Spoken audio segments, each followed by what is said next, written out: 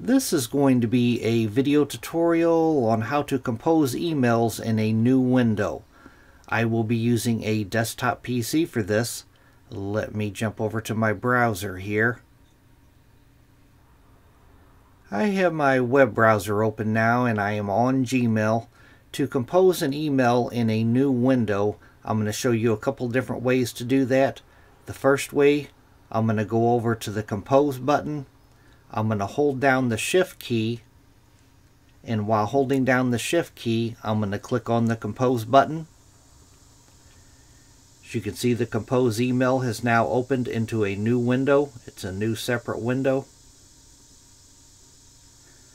Now to exit out of this you could see that uh, there's a little arrow up here at the top of the compose email area. I'm going to click on that arrow and now it has opened normally. Another way to do it, if you've hit compose email and you're, you're presented with this screen here, if you want to pop this uh, compose email out into a new window, you can go up to these arrows right here.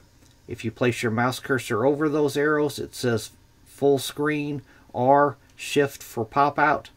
I'm going to hold down shift and while holding down shift, I'm going to click on that arrow.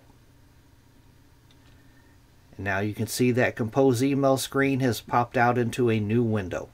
That is how to compose an email on Gmail in a new window. Thanks for watching.